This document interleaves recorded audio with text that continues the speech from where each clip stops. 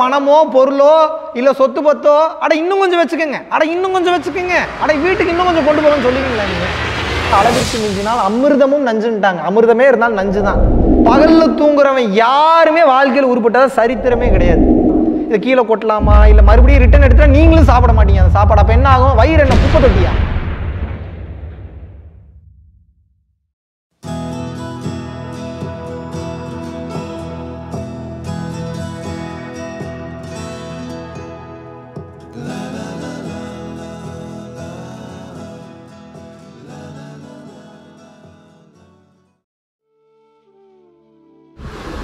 குருவே சரணம். நான் சங்கரி பேசுங்க இன்னைக்கு காலையில் பார்த்தீங்கன்னா நான் பயிற்சி பண்ணிட்டு இருக்கிறப்போ எனக்கு முதல்ல காஞ்சி விஸ்வநாத சுவாமிகள் அவருடைய முகம்தான் வந்தது. அப்புறம் அதிகமாக வந்தது எனக்கு மகாவிஷ்ணு குருவோட முகம்தான் வந்துட்டு இருந்தது. மருதமலை கோவிலும் விட்டு விட்டு வந்துட்டே இருந்தது. சரி இன்னைக்கு நான் கோயிலுக்கும் போயிட்டு வந்தேன். மனசுக்கு ரொம்ப சந்தோஷமாக இருக்குது குரு வந்து வழிகாட்ட ஆரம்பிச்சிருக்காருன்னு மனசுக்குள்ளே ரொம்ப சந்தோஷமாக இருக்குது நன்றி. குருவே சரணம். அனைவருக்கும் வணக்கம். உங்கள் வீட்டுக்கு ஒருத்தங்க வர்றாங்கனாலோ இல்லை வந்து நீங்கள் ஒரு முக்கியமான இடத்துல இருக்கீங்களாலோ முதல்ல இலை நிறைய இல்லை தட்டு நிறைய சாப்பாடு வச்சு பழகாதீங்க. அது இருக்கிறதுலே ஒஸ்டான ஒரு டைப்பு ஒஸ்டான ஒரு கேரக்டர் ஒஸ்டான பழக்க வழக்கம் அது. நீங்கள் உண்மையாகவே அவ்வளோ நல்லவராக இருந்தீங்கன்னா அட சாப்பிடுங்க. அட இன்னும் கொஞ்சம் வச்சுக்கோங்க. அட இன்னும் கொஞ்சம் வச்சுக்கோங்க. அட இன்னும் நிறைய வச்சுக்கன்னு சொல்கிறீங்களே நான் என்ன கேட்குறேன் அப்படின்னா சாப்பாடு எப்படி ஒரு கட்டத்துக்கு மேலே எப்படி போகுதுன்னு சொல்லிடுவான்ற தைரியம் இருக்கிறதுல மிஞ்சி மிஞ்சி போனால் ஒரு சட்டி சோறை அவன் சாப்பிட்ற போகிறான்ற அந்த தைரியம் இருக்கிறனால இன்னும் கொஞ்சம் வச்சுக்கோங்க. அட இன்னும் கொஞ்சம் வச்சுக்கோங்கன்றீங்க. ஆனால் இதுவே ஒரு பணமோ பொருளோ இல்லை சொத்து பத்தோ அட இன்னும் கொஞ்சம் வச்சுக்கோங்க. அட இன்னும் கொஞ்சம் வச்சுக்கோங்க. அட வீட்டுக்கு இன்னும் கொஞ்சம் கொண்டு போவேன்னு சொல்லுவீங்களா நீங்கள் அப்போ இதில் உங்கள் சுயநலம் வெளிப்பட்டு விட்டதா? எது ஒன்று போதும்னு சொல்கிறானோ அதை அதிகமாக கொடுக்குறதுக்கு தயார் நிலையில் இருக்கீங்க. எதோ ஒருத்தன் போதும்னு சொல்ல மாட்டானா தரவே மாட்டீங்களே. உண்மையான அன்புன்னா எப்படி இருக்கணும்? எல்லாத்தையும் ஒரு ஒன்று போலயே சாப்பாடு வைக்கிற மாதிரியே நீங்கள் எல்லாத்தையும் கொடுக்கணும். அட இன்னும் கொஞ்சம் வச்சுக்கோங்க. அட இன்னும் கொஞ்சம் வச்சுக்கன்னு கொடுக்கணும். நீங்கள் அதை வந்து பொருள் சார்ந்த விஷயங்களை அதிகமாக கொடுக்க முடியல அப்படின்னா நீங்கள் சாப்பாடை மட்டும் அதிகமாக வைக்கிறீங்க? அப்போது நீங்கள் உங்களோட ஆக்டிவிட்டி தவறுன்னு ஒத்துக்கிட்டு தானே ஆகணும் மிகப்பெரிய தவறு. அப்படி பண்ணாதீங்க. இதில் மிகப்பெரிய பிரச்சனை அவங்களுக்கு இருக்குது சாப்பிட்றவங்களுக்கு இருக்குது அவங்க ஏதாவது அர்ஜென்ட்டாக ஒரு வேலைக்கு போகிற மாதிரி இருக்கும்.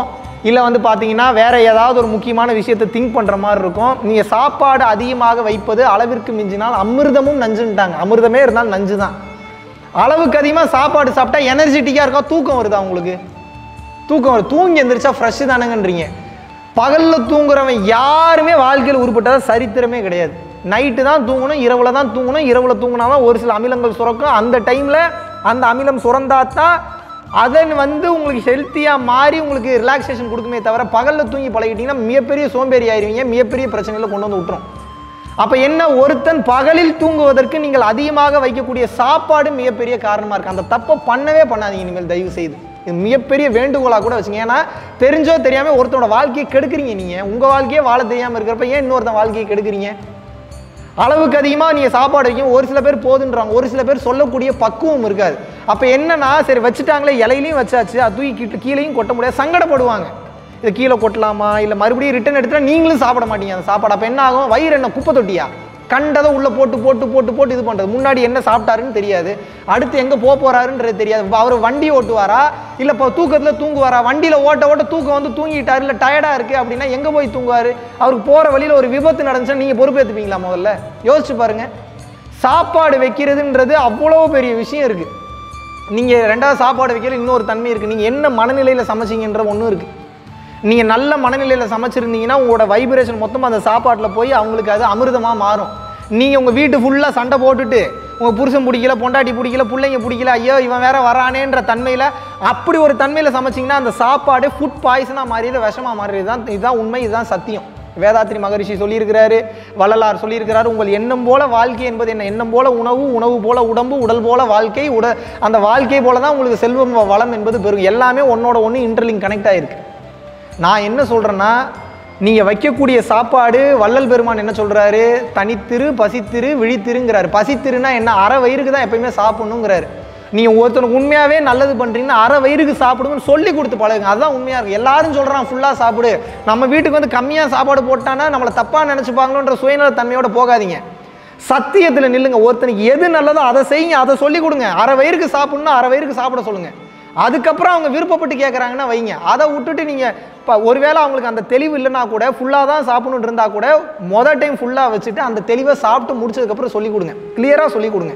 என்ன சொல்லி தரணும்? அதாங்க அந்த ஞானம் தாங்க அவனுக்கு தேவை. இங்கே பாருப்பா நீ சாப்பிட்றதுனால எங்கள் வீட்டில் சொத்து ஒன்றும் குறைஞ்சி போயிட போகிறது கிடையாது. ஆனால் இப்படி நீ சாப்பிட்ட அப்படின்னா கண்டினியூவாக சாப்பிடுவோம் உனது உடல் பாதிப்படையும். எனர்ஜி என்பதே இருக்காது.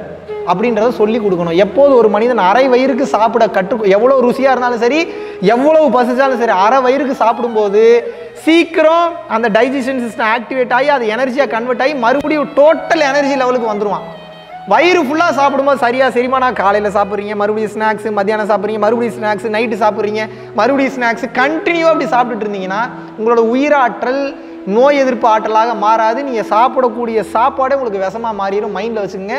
ஸோ எந்த சூழ்நிலையிலும் உங்கள் வீட்டுக்கு ஒருத்தவங்க முதல்ல சாப்பிட வராங்கன்னா சாப்பிடுப்பா சாப்பிடுப்பா சாப்பிடுப்பா சாப்பிடுப்பான்னு போட்டு டார்ச்சர் பண்ணாதீங்க. மிகப்பெரிய தவறான அணுகுமுறை அது. ஒருத்தர் உண்மையாகவே நீங்கள் சந்தோஷமாக வச்சுக்கணும். அரை வயிறோட சாப்பாடு போடுங்க. அவ்வளோ எனர்ஜெட்டிக்காக இருப்பாங்க. அவங்களையும் சங்கடப்படுத்தாதீங்க. இது எங்கே கொண்டு போய் கொட்டுறது? எங்கே கொண்டு போய் பேசுறது? என்ன பண்ணுறதுன்னு தெரியலன்ற அளவுக்கு சங்கடப்படுத்தாதீங்க. மிகப்பெரிய தவறான ஒரு செயல் இது. நன்றி. வணக்கம். குருவே சரணம். அனைவருக்கும் வணக்கம்.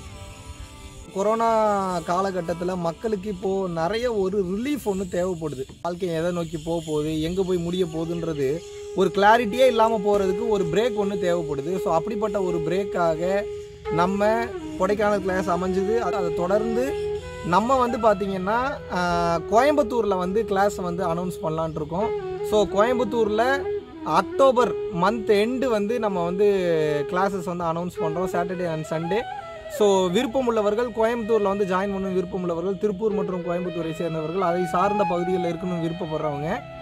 கோயம்புத்தூர் வந்து கிளாஸை அட்டன் செய்யலாம். ரெண்டு நாள் வகுப்பு எக்ஸ்பீரியன்ஷியல் ப்ரோக்ராம் என்னுடைய நேரடி வகுப்பு. எனது கையாலேயே நேரடி தொடு தீட்சையும் மந்திர உபதேசமும் வழங்கப்பட இருக்கிறது. ஸோ இந்த பரம்பொருள் யோகம் தீட்சை வாங்கணும் விருப்பப்படுறவங்க அக்டோபர் மந்த் எண்டு ச சனி மற்றும் ஞாயிற்றுக்கிழமை இரண்டு நாள் வகுப்பில் தாராளமாக கலந்து கொள்ளலாம். டெஸ்கிரிப்ஷனில் எந்த டேட்டு மற்ற டீட்டெயில்ஸ் எல்லாமே கொடுத்துருக்காங்க. ஸோ வாட்ஸ்அப் நம்பருக்கு இமீடியட்டாக அமுச்சு இப்போவே புக் பண்ணிக்கோங்க. நன்றி. வணக்கம்.